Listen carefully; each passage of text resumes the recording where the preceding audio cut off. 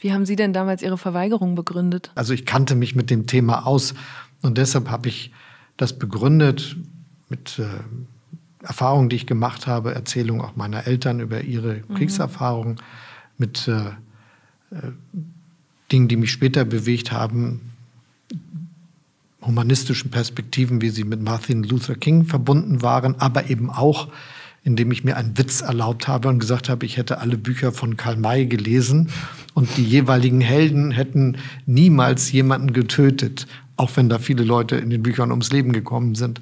Das hätte mich moralisch sehr geprägt. Irgendwie bin ich mit dem Witz durchgekommen.